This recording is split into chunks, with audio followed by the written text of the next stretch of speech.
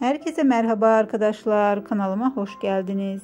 Yepyeni bir video ile yine sizlerleyiz. Videoma geçmeden önce emeğe saygı olarak videomu beğenmeyi, bildirim butonunu açık tutmayı ve kanalıma abone olmayı lütfen unutmayın.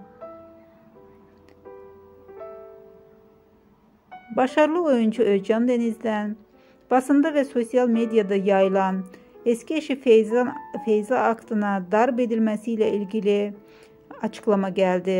Ölkən Dəniz kəndin Instagram hesabından açıklama yaptı.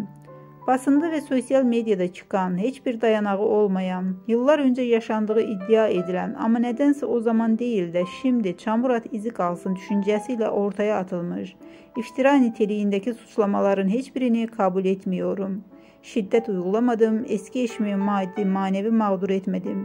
Yeni bir projemin arifəsində də bunların yaşanması ayrı bir konu.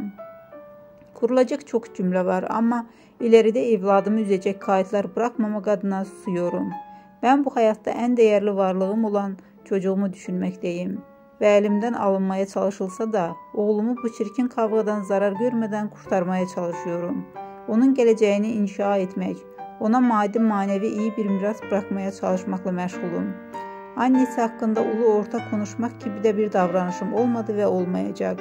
Ben ancak bir insan ve baba olarak kendimin ve çocuğumun zarar görme ihtimalinin doğması halinde gerekli önlemleri almak için yasal yollara başvurup haklarımı resmi mercilerde aramayı doğru buluyorum.